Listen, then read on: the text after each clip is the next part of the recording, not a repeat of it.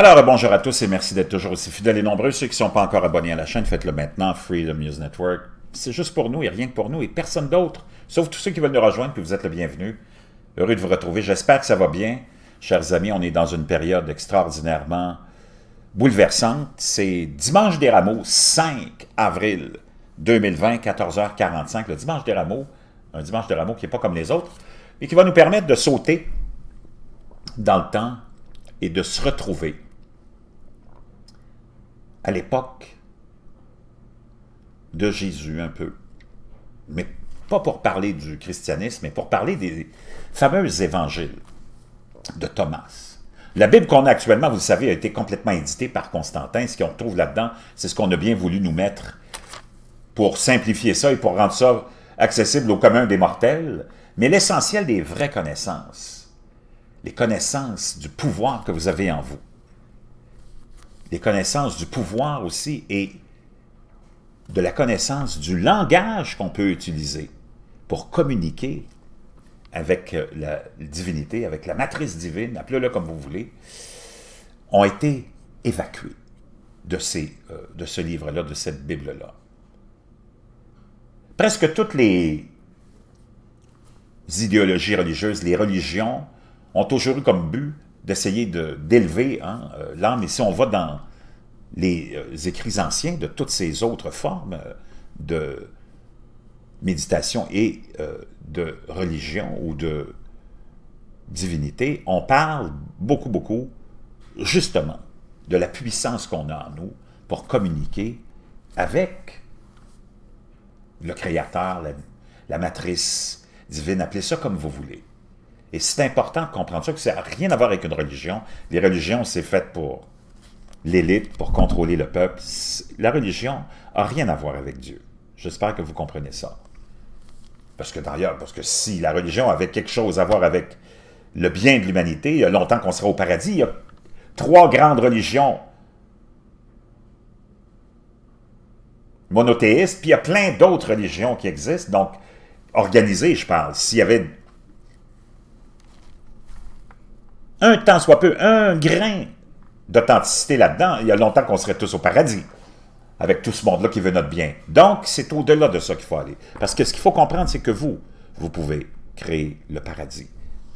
Avec le pouvoir que vous avez en vous, de pouvoir vous épanouir.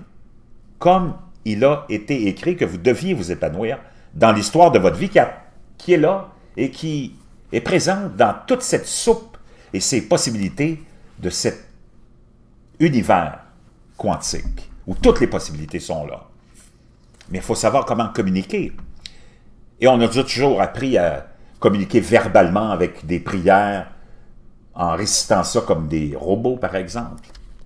Alors que dans les évangiles de Thomas, qui ne sont pas les évangiles de Thomas comparativement aux autres évangiles, le récit d'une histoire. Vraiment pas. Donc, on va aller voir cet univers-là. On va aller voir d'abord comment ça, ça s'est... J'essaie de faire un petit résumé de tout ça, de cette histoire-là, comment on a trouvé ces documents-là et comment on a pu comprendre.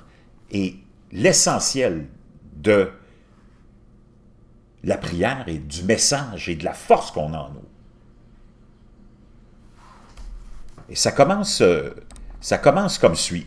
En 1945, des des travailleurs en Égypte ont accidentellement trouvé dans une vieille tombe chrétienne, vieille tombe chrétienne, des, euh, des scripts, des euh, manuscrits euh, en cuir dans un, dans un grand pot. À l'intérieur, il y avait à peu près 13 de ces grands manuscrits enroulés, hein, ces manuscrits de cuir. Et c'est manuscrit-là était composé d'à peu près 48 textes différents. Et presque tous ces textes-là étaient, étaient des textes gnostiques, hein, qui enseignaient le salut à travers de la connaissance mystique.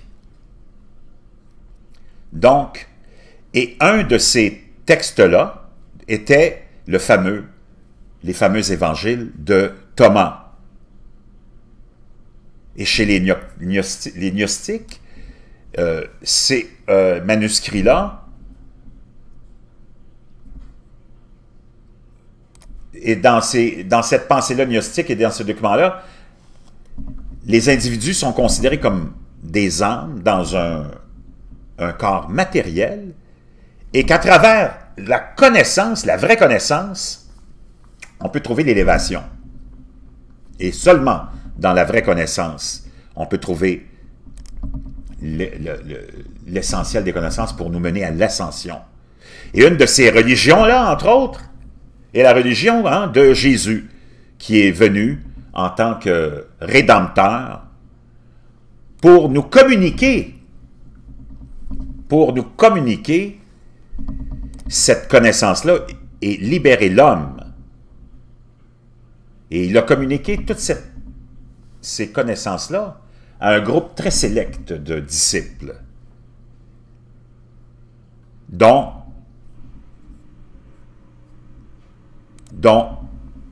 un d'entre eux étant Thomas. Et presque tous les chemins spirituels ou toutes les traditions dans l'histoire qui sont suivies et éventuellement ça a été découvert, elles mènent toutes à la même ascension.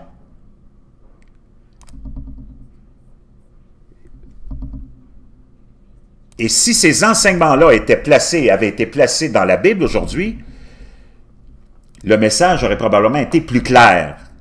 Et on aurait plus, on serait plus concentré sur la puissance qu'on retrouve dans chaque personne, dans chacun d'entre nous, et ça, c'est selon ces fameux évangiles de Thomas. Et ça, c'est en chacun d'entre nous.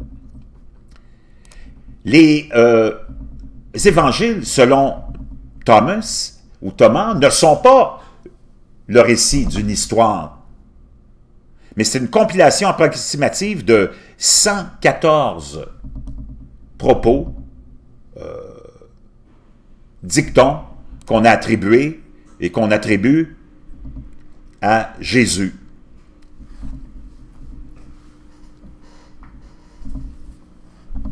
Et euh, l'ouverture de ce document se lit comme suit. Euh, voici les mots secrets que Jésus, le vivant, a délivré ou a livré à l'infâme Judas. Et c'est Thomas qui a écrit cet évangile-là et toutes ces euh, paroles de Jésus. Et il a dit, en allant aussi plus loin, il a dit, ceux qui trouveront les interprétations de toutes ces paroles ne connaîtront jamais le goût de la mort.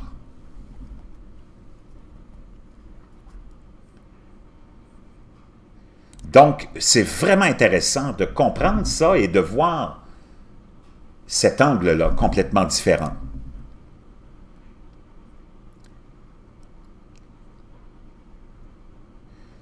Donc, ces fameux évangiles de Thomas, c'est pas vraiment, les évangiles en tant que tels ne sont pas vraiment un secret les secrets euh, mentent ou sont comme des mensonges dans leur interprétation. Quand vous allez trouver la vraie signification de ces, euh, et je l'ai fait, de ces évangiles-là, vous allez vraiment être troublé. Parce que ça s'en va contre tout ce dont on vous a enseigné et ce que vous avez cru. Et quand la vérité de ça va embarquez en vous, vous allez vraiment être émerveillé. Et vous allez découvrir votre force et votre puissance. Que vous avez un règne suprême dans votre vie et de tout ce qui est dans votre vie. Et que vous pouvez vraiment expérimenter le paradis sur terre. J'essaie, il y a un petit peu d'intervalle parce que je suis en, train de, de, traduire aussi euh, une vidéo qui est très intéressante et qui m'a été l'inspiration de cette intervention-là aujourd'hui. Et comme c'est en anglais, j'ai un petit intervalle entre chaque euh, euh, interprétation. Bon, les évangiles de Thomas ont été éliminés de la Bible. Et il y a plusieurs explications pour le raisonnement derrière les, décisions de ces leaders religieux d'avoir éliminé ces, euh, évangiles-là. Et plusieurs leaders religieux prétendent que si vous lisez les, évangiles de Thomas et que vous le comparez à ce qu'on retrouve dans le Nouveau Testament, et c'est un livre complètement différent, c'est plus les mêmes évangiles. C'est un un livre vraiment différent. Nous présentant un Jésus vraiment différent.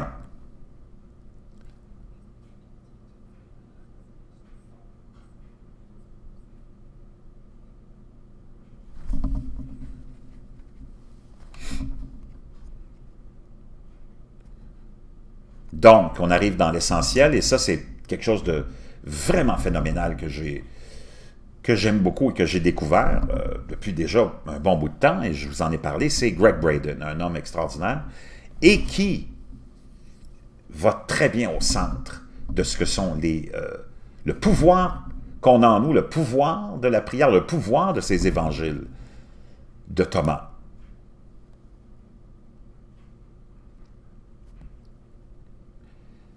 Donc, combien d'entre vous avez entendu parler de ces évangiles de Thomas, ces évangiles perdus de Thomas? Avez-vous déjà entendu parler de ces évangiles perdus? Un texte vraiment puissant. Les évangiles perdus de Thomas sont quelque chose de vraiment puissant. Parce que c'est... les euh, on tend à croire que c'est vraiment la parole actuels, les mots précis actuels que Jésus a enseignés à ses disciples, à ceux qui étaient autour de lui. Et comment il leur explique comment utiliser le pouvoir de l'émotion humaine dans sa vie. Si les indigènes savent ça, et si les civilisations anciennes connaissent ça, pourquoi nous autres, on ne connaît pas, et on ne connaît pas cette force-là, et on ne nous a pas expliqué cette force-là? Qu'est-ce qui est arrivé à notre connaissance? Ça, c'est vraiment une bonne question, nous dit Braden. Et la, réponse est la suivante. Dans nos traditions occidentales, et il dit, quand je parle de tradition occidentale, je parle de, j'assume qu'on est de tradition judéo-chrétienne. C'est ça dont je parle en ce moment. Il y avait une époque où il y avait une époque où ce chant et le langage de l'émotion était, partie de notre tradition. C'était dans nos textes. Jusqu'au 4e siècle, l'année 325 après Jésus, dans l'année 325 après Jésus, quelque chose est arrivé nos textes ont été édités et on a perdu une quantité énorme d'informations. L'empereur Constantin, dans la toute jeune Église chrétienne, avec la jeune Bible chrétienne, avait des décisions à prendre. Quelle information on va inclure? Quelle information allons-nous exclure? Et ce qu'on sait maintenant, au moins 45, 45 livres ont été soit complètement discartés ou vraiment édités. Et dans ce qu'on appelle aujourd'hui notre euh, tradition biblique occidentale. Et quand ces éditions-là et ces euh, décisions-là ont été prises, on a perdu l'information qui nous disait tout ce qui concerne la connexion entre nous et le champ divin, et on a perdu cette information, on a perdu l'information sur le langage qu'on nous apprenait pour parler à ce champ divin. On, on connaît, on sait ça maintenant parce qu'on a retrouvé et on est en train de euh, récupérer les informations perdues dans les euh, fameux euh, manuscrits de la mer morte, la fameuse bibliothèque Nag Hammadi et plusieurs textes euh, coptes.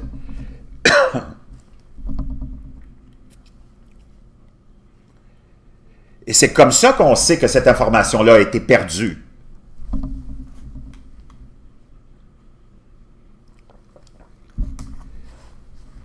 Quand on a trouvé tous ces écrits qui appartenaient à Jésus,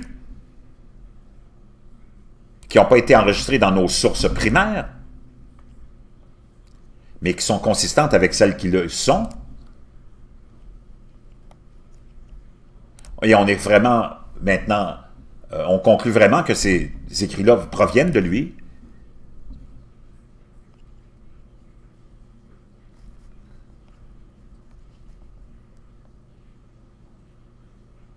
on dit qu'on a édité tout ça pour valider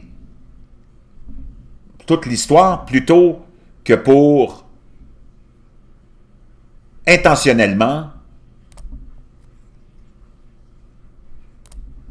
ou enlever les vérités sacrées sur ces connaissances-là.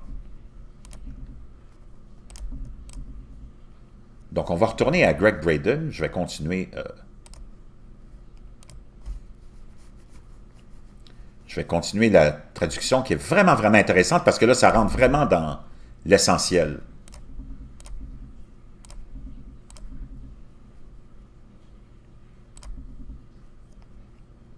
En train de... Donc,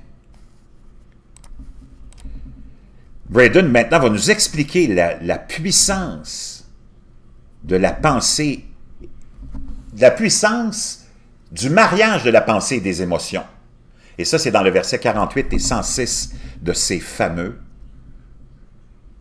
de, cette, de ce fameux évangile de Thomas.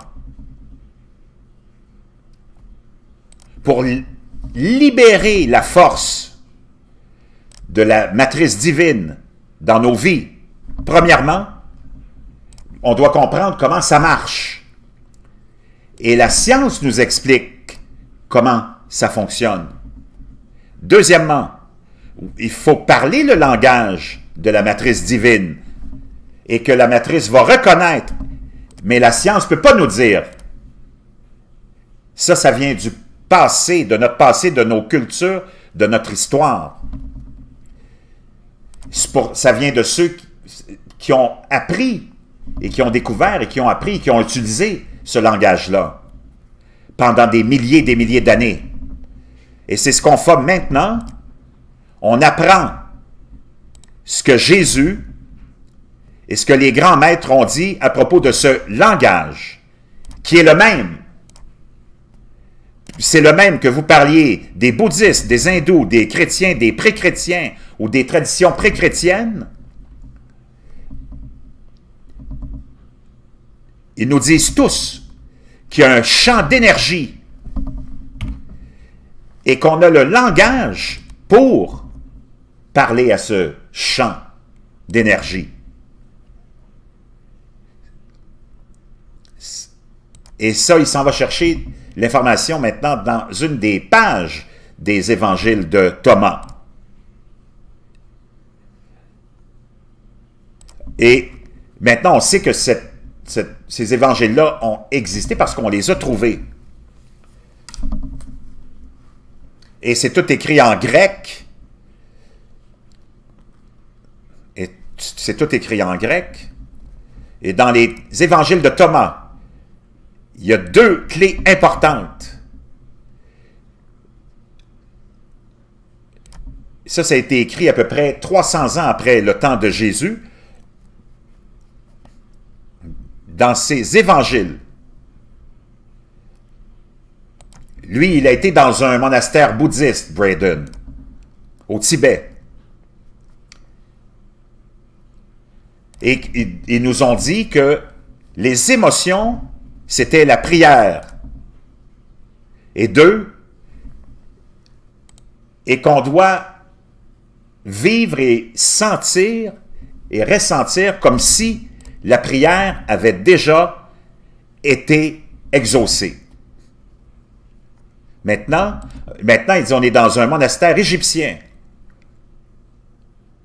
Avec les, avec les textes qui étaient notre tradition à nous, chrétienne, avant que ce soit édité.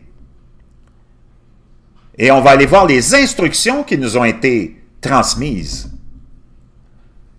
Ah, comment faire exactement ça? C'est bon, vous comprenez? OK, nous dit Braden.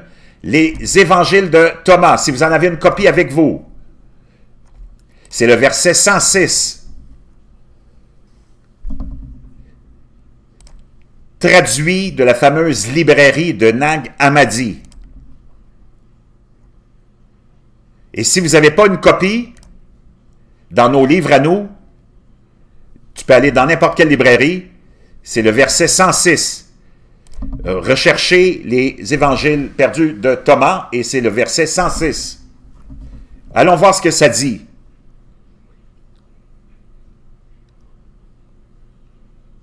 Quand vous faites, quand vous unissez les deux, la pensée et l'émotion, quand vous l'unissez ensemble, donc l'évangile de Thomas nous parle de la pensée et de l'émotion.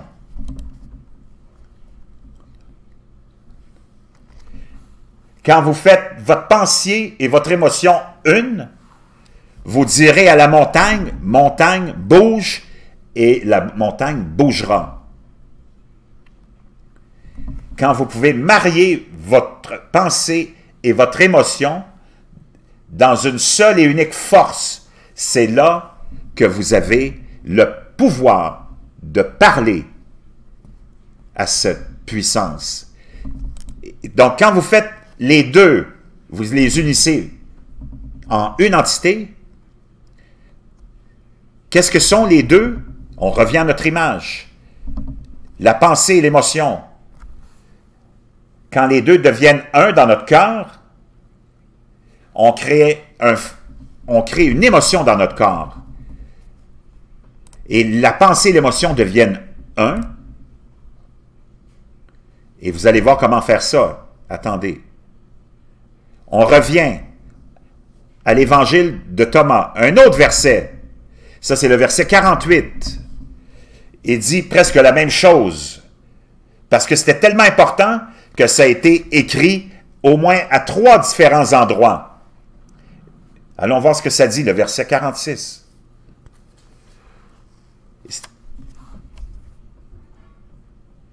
Si les deux font la paix dans cette maison, dans cette même maison, quand Jésus parle de la maison, le temple, de quoi, parle-t-il? De quoi parle-t-il? Il, parle de vous, il parle de moi. Notre, nous, nous sommes la maison, nous sommes le temple. Si la paix, si l'émotion et si la pensée et l'émotion font la paix, comprenez-vous, dans, dans ce temple que ce que vous êtes et ce que je suis, regardez ce qui va arriver. Vous direz à la montagne, bouge et la montagne se déplacera. Mais vous avez vu comment dans un autre verset, comment c'est complètement, complètement clair et puissant de unir la pensée et l'émotion. Et ça, c'est fondamental. Mais ils ne nous ont pas encore dit comment faire ça. Comment vous faites ça? C'est la prochaine partie. Dans la Bible, la, Bible nouvelle, hein, euh, à l'époque, la, toute jeune Bible qui naissait, votre Bible d'aujourd'hui, il y a un passage. Combien de gens avez, voulu, avez, avez lu ce passage? Demandez, vous recevrez. Vous avez entendu ça avant. Demandez, vous recevrez. Tout le monde a entendu ça. Moi, on connaît des gens, c'est plein. Moi, le premier, on demandait, on demandait, on demandait. Et il n'y a rien qui arrive.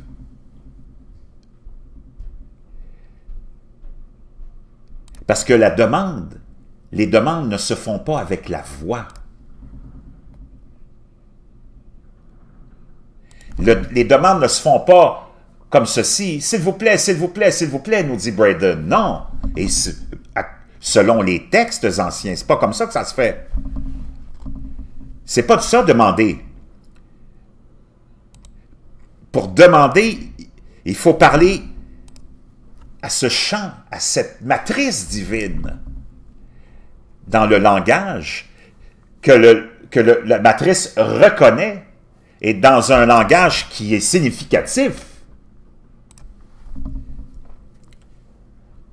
Ça ne reconnaît pas notre voix, mais la volonté de notre cœur. On a appris ce matin, il nous disait, parce qu'il était en conférence, que le, cœur est l'organe qui produit le plus d'électromagnétisme et de magnétisme. 100 fois plus que le cerveau pour l'électromagnétisme et 5000 fois plus que le cerveau au niveau du magnétisme. Les vagues magnétiques, ça c'est le langage que la matrice reconnaît. Et c'est ça qui est important de comprendre. Et c'est ça qui est et que j'ai compris et que je vous partage. Donc quand vous, créez l'émotion dans votre cœur, comme si votre prière avait déjà été répondue, réalisée, vous créez le champ magnétique qui vous amène cette réponse à vous. Et dans la Bible que vous avez aujourd'hui, la fameuse version de King James, John, Jean 23, 16, 23, 24, ce que vous avez, c'est la version condensée, éditée la version éditée condensée. Et, la, et la version éditée a l'air de ceci. Ça, c'est l'édition éditée, la version éditée.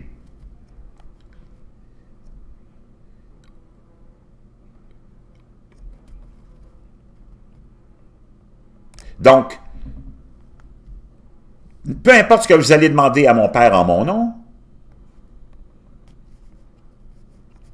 Laissez-moi juste retourner un petit peu en arrière, que je vois le texte comme il faut. Donc là, on est avec la version éditée.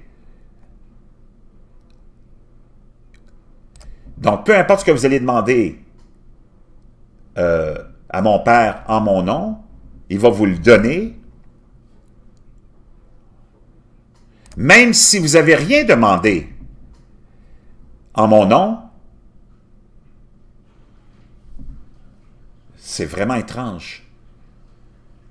Demandez et vous recevrez, et votre joie sera pleine ou remplie. Ça, c'est la version éditée. C'est vraiment incroyable, nous dit Braden, parce qu'ils ont enlevé les deux phrases qui nous disent comment demander. Et c'est ça qui est essentiel dans la, au quatrième siècle, quand cette édition-là, cette version-là a été éditée, ils ont enlevé ces deux phrases-là. Voulez-vous voir ces deux phrases-là, les deux phrases qu'on a enlevées? On retourne dans la version originale et on va regarder à cette version. Ça, c'est la version originale araméique. C'est vraiment similaire, ça ressemble beaucoup. Ça, c'est la retranscription de la version avec les pièces manquantes. Tout ce que vous demandez, franchement, directement, from, en, mon nom, on va vous le donner. Mais jusqu'à présent, vous n'avez pas fait ça. Donc en anglais, c'est All things that you ask straightly directly from inside my name, you will be given. So far, you have not done this. Vous ne l'avez pas fait encore. Parce que si on demande avec notre voix, on ne l'a pas fait, on ne l'a pas demandé, on ne l'a pas. Et voici la pièce qui a été éditée. Qu'est-ce qui a été perdu? Les deux phrases vraiment puissantes. Demandez sans motif caché.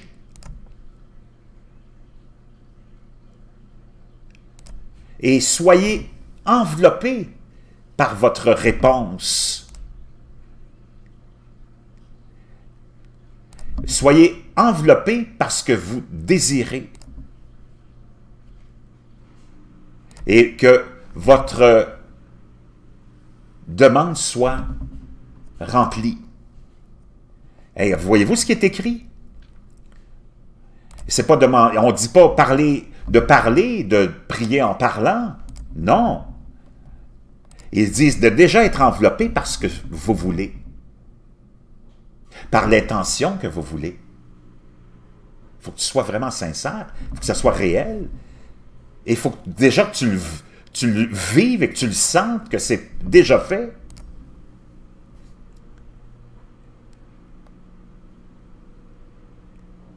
Il faut que tu sois entouré, il faut que tu sois enveloppé comme si c'était déjà, ça avait été déjà fait, que vous aviez déjà eu une réponse.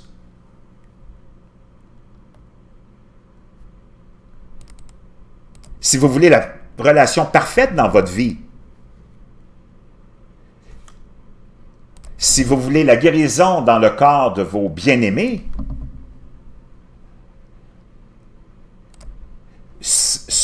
ressentez l'émotion que ça représente d'être enveloppé par ces émotions et cette demande-là. Et soyez enveloppé et sentez comme si c'était déjà réalisé. Soyez enveloppé parce que vous désirez.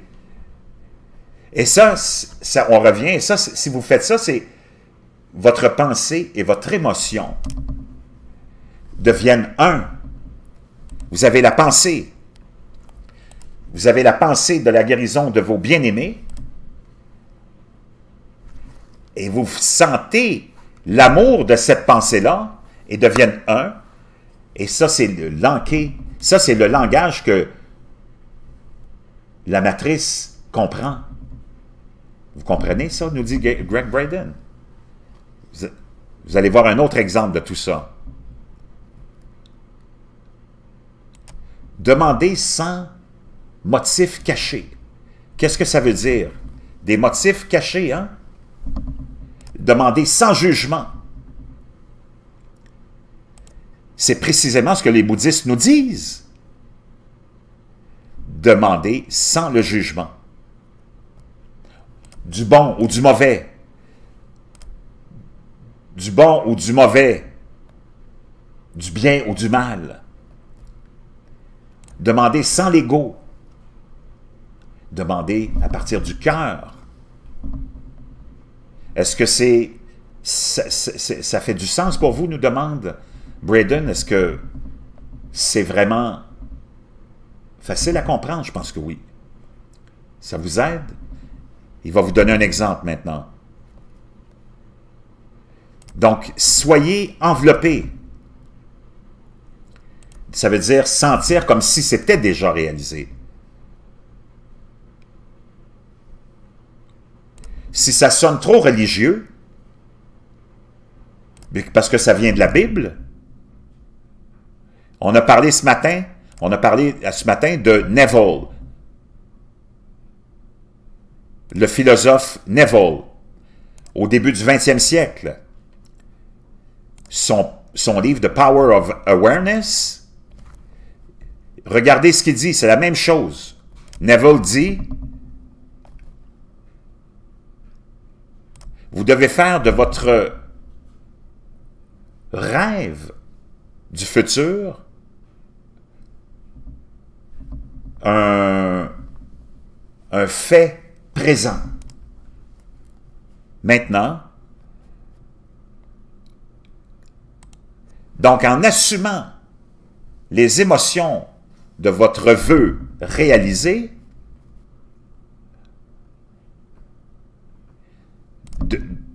d'arriver à la place où ça s'est déjà réalisé.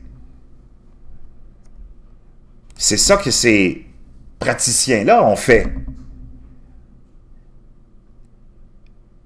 Avec cette, euh, les praticiens, les médecins, avec cette euh, tumeur cancéreuse, parce qu'il va raconter une anecdote.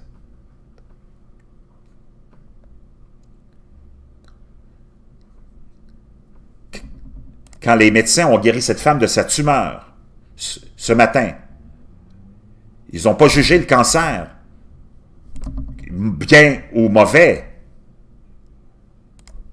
ou mauvais ou bien, ou bien ou mal. Il n'y avait pas de jugement. Ils ont accepté la tumeur comme étant une possibilité. Une parmi plein de possibilités. Parce que dans le monde quantique, toutes les choses sont possibles.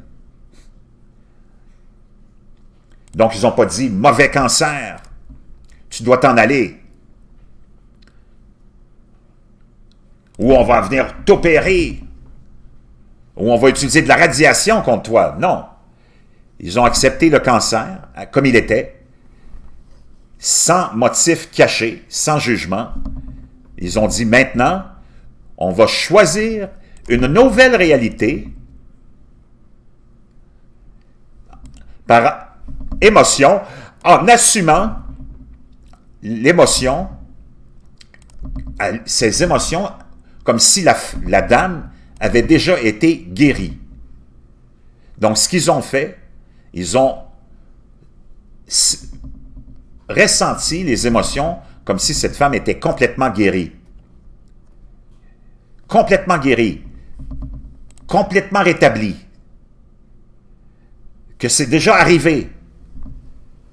Donc, le chant qu'ils utilisaient, wassa, wassa, loosely, euh, c'est, on peut traduire ça euh, vaguement, déjà accompli.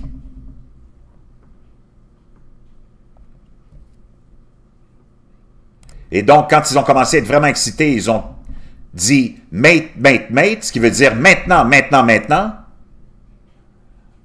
pas dans une année, pas dans un mois, pas dans cinq minutes, maintenant, dans le monde quantique. Et son corps a répondu. Et la réalité physique doit répondre au langage qu'elle comprend. Donc, on peut assumer que la femme a guéri. Donc, dans la tradition bouddhiste, ils nous disent la qualité de l'émotion dans la tradition judéo-chrétienne. Ils nous donnent l'instruction d'être enveloppé, d'être entouré et comment créer ce feeling, cette émotion? Et quand tu mets les deux ensemble, c'est quelque chose qui arrive dans notre cœur, pas dans notre tête. Donc la prière, c'est sentir que déjà, ça a déjà été répondu, sans jugement, sans ego. Et vraiment avoir l'émotion du résultat se penser et sentir déjà que c'est accompli, que c'est déjà arrivé.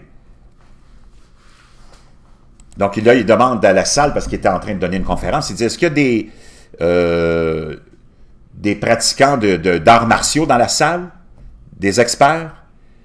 Il dit, j'ai étudié les arts martiaux quand j'étais dans, dans ma vingtaine, et un petit peu dans ma quarantaine et cinquantaine aussi. Avez-vous vu les gens qui pratiquent les, arts martiaux? Quand ils démontrent leur concentration en brisant un, des blocs de béton. Vous avez déjà vu ça? Vous avez déjà tous vu ça avant, hein? Voici le secret. pour briser ces blocs.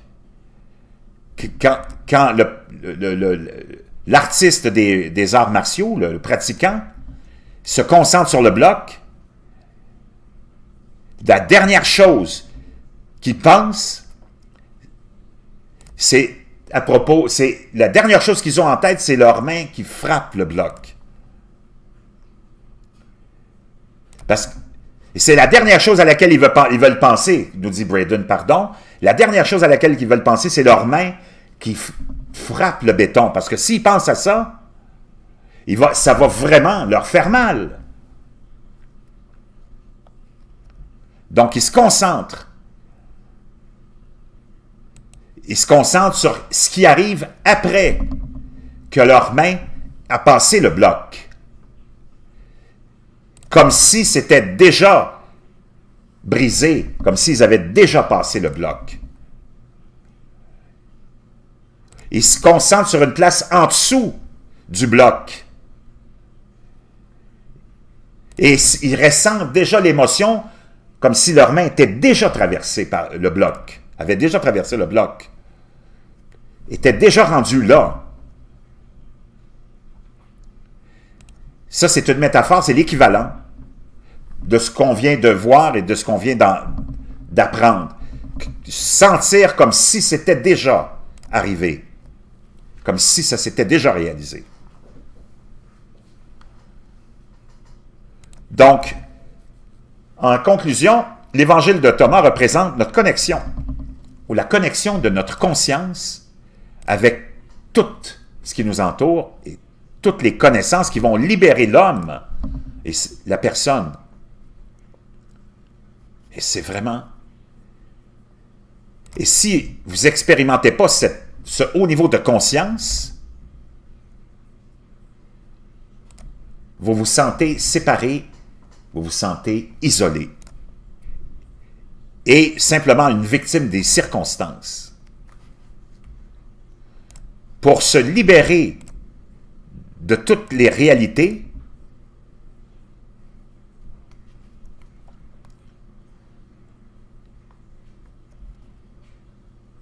on doit remplacer l'image de l'ego par l'image puissante qu'on voudrait voir se réaliser en nous. Donc, c'est vraiment fantastique, c'est vraiment extraordinaire. je pensais en cette journée, dimanche des rameaux, vous faire... Euh, ça va l'air étrange parce qu'il fallait que je fasse tourner ça parce que je voulais pas manquer un bout de ce que Braden racontait. Parce que je trouve que c'est vraiment important et qu'il a bien saisi tout ça. C'est un homme extraordinaire, Greg Braden, qui a donné plus de 500 conférences. Il va partout à travers le monde, il a rencontré toutes sortes de gens, des bouddhistes, il est allé dans toutes les tentes que tu peux imaginer, au Tibet, a donné des conférences euh, devant les Nations Unies. Quelqu'un de vraiment exceptionnel, vraiment euh, authentique, et qui a atteint un niveau extraordinaire aussi de réalisation personnelle grâce à tout ça. Parce que chacun d'entre nous, on peut atteindre un niveau de réalisation exceptionnel. C'est pas obligé que ce soit tous le même. Vous avez un niveau de réalisation personnelle, exceptionnel, qui sera le vôtre seulement si vous êtes connecté à vous-même et à toutes ces forces-là qui sont là pour nous et qui nous ont été données. Et je peux vous garantir que ça marche. Je l'expérimente à tous les jours. Et honnêtement, j'en remercie tous ceux qui m'ont amené à ce niveau de conscience-là. Vous en avez fait partie, mon entourage en a fait partie, des individus comme ça en ont fait partie, la divinité en a fait partie, puis je vous souhaite de trouver cette force-là en vous qui va vous permettre de vous détacher de toutes les perceptions qu'on nous a mis dans la tête pour faire en sorte qu'on vive dans un monde faux, au service d'entités négatives pour que vous puissiez vous retrouver dans vos perceptions, dans votre monde, avec votre vie qui se déroule pour vous. Je vous reviens, bonne fin de dimanche des rameaux, on se retrouve tout à l'heure, sûrement, vous me connaissez. Je ne peux pas me passer de vous, là je m'en vais au yoga pour une heure, au yoga virtuel, parce que le studio est fermé. J'espère que ça vous a plu. J'attends vos commentaires, on se retrouve euh, l'autre côté du yoga.